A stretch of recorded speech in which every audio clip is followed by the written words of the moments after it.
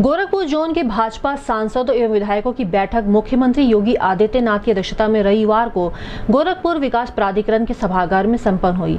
बैठक में केंद्र और राज्य सरकार की योजनाएँ जनता तक पहुँचाने और उसका लाभ पात्र व्यक्तियों को मिल रहा है या नहीं, इसका विश्लेषण किया गया। बैठक में उन्होंने राज्य सरकार द्वारा चलाई जा रही योजनाओं का जनता पर पड़ने वाले प्रभाव की समीक्षा की।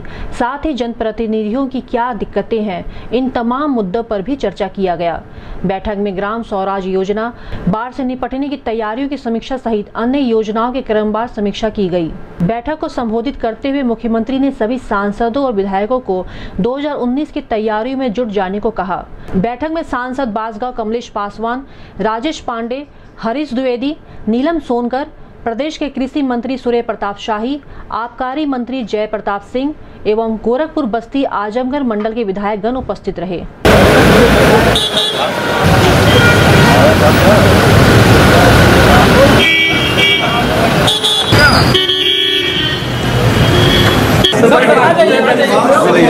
हम लोग बाहर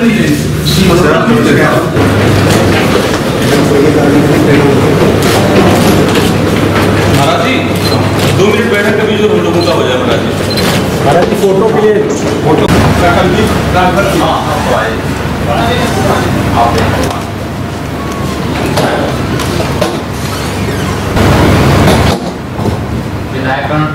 सभी लोग आ गए? जान रहे विधायक तो सभी लोग हैं? नहीं वो लोग बाहर दो विधायक बाहर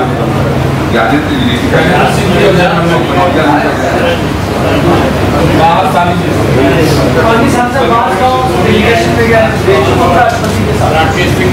और कुशीनगर से दो आदमी और ये लोग बाहर हैं सर और इसी तरह से देवरिया के सभी आए हैं आजमगढ़ से एक आने में आए नहीं है। जितना बताए थे उतना हो गया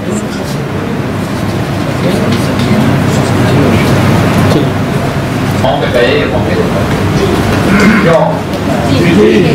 सभी लोग गए थे। खड्डा से कितने गाँव में बस कितने गाँव हैं आपकी विधानसभा में जो ग्राम स्वराज अभियान के अंतर्गत चयनित थे आपकी विधानसभा के चौदह के चौदह में जाना चाहिए था विधायक को तो। अरे, ठीक है, संगठन की सभा में अपनी व्यक्ति पूरी जानकारी आपके पास ये बहुत अच्छा अनुभव आपका रहा होगा ग्राम स्वराज अभियान का और मुझे लगता है कि थोड़ी भी ध्यान अगर किसी ने दिया होगा तो लाभार्थी पर योजनाओं को ज़मीन पर उतारने के लिए बहुत अच्छा प्रयास है ग्राम स्वराज और ये सांसद अपने संसदीय क्षेत्र में और हर मान्य विधायक